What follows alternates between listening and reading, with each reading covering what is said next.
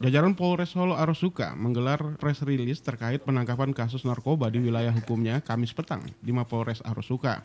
Salah satu barang bukti berupa satu unit mobil operasional milik calon anggota legislatif DPRD Sumbar, Mario Sahjohan dari Partai Gerakan Indonesia Raya.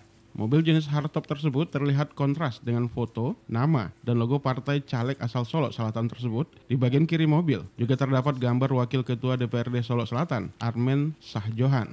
Terkaitnya nama Mario Sahjohan dan Armen Sahjohan dalam kasus tersebut cukup membuat miris. Pasalnya Mario merupakan Ketua Gerakan Nasional Anti Narkotika, Granat Solo Selatan, Ketua Komite Olahraga Nasional Indonesia, KONI Solo Selatan, sementara Armen merupakan kakak kandung Mario, merupakan Wakil Ketua DPRD Solo Selatan. Kapolres Arosuka AKBP Ferry Irawan menyatakan, selain satu unit mobil operasional tersebut, jajarannya juga mengamankan barang bukti berupa 2 gram sabu dan 7 paket ganja. Barang bukti ini berasal dari pengungkapan 5 kasus dan diamankan sebanyak 6 tersangka.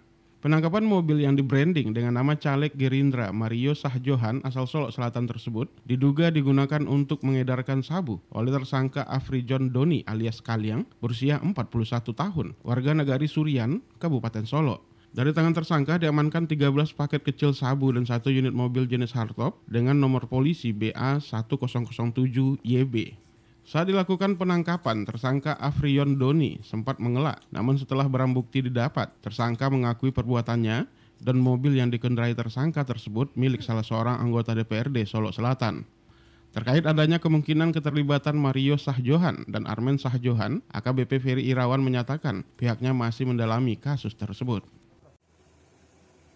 Sebanyak uh, tiga kasus dengan enam tersangka dengan BB sekitar hampir uh, eh, 2 gram sabu-sabu dan 7 paket 8 7 paket uh, ganja. Dengan barang bukti lainnya adalah berupa kendaraan, uang, handphone dan eh, barang-barang uh, lain yang dipergunakan oleh tersangka dalam melakukan kegiatannya. Pengungkapan satu kasus tindak pidana pengedaran sabu-sabu atas tersangka D di wilayah Surian, uh, Kecamatan Surian Solok dengan BB sekitar 1 gram 1 gram sabu-sabu dipecah menjadi 13 paket dengan satu tersangka dan BB handphone dan kendaraan yang dipakai. Kita masih kembangkan terus karena tersangka dalam hal ini merupakan uh, tim sukses dari caleg atas nama A dan atas nama M yang merupakan caleg pro tingkat provinsi dan tingkat Kabupaten Solok Selatan. Dan kendaraan yang dipergunakan adalah kendaraan milik dari salah satu caleg uh, eh, DPRD tersebut. Uh, ancamannya adalah sumur hidup, ya kan? Ancaman sumur hidup karena kita indikasi dan hasil pemeriksaan tersangka itu merupakan pengedar dan yang kedua sebagai pemakai dan hasil urin itu positif dia menggunakan narkoba. Dari Kabupaten Solo, Budi Sunandar, Ainis melaporkan.